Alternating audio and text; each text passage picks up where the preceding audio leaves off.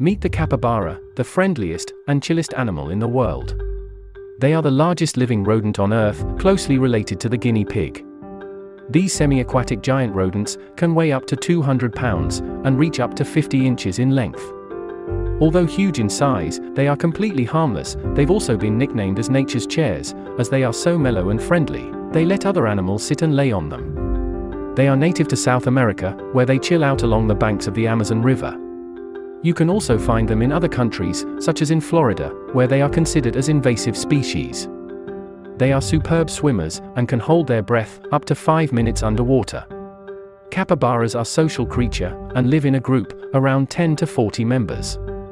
They are herbivorous and their diet consists of aquatic plants, grasses, and fruits. Despite being friendly, capybaras are not suitable as pet for most people since they are semi-aquatic. They require a lot of space and water.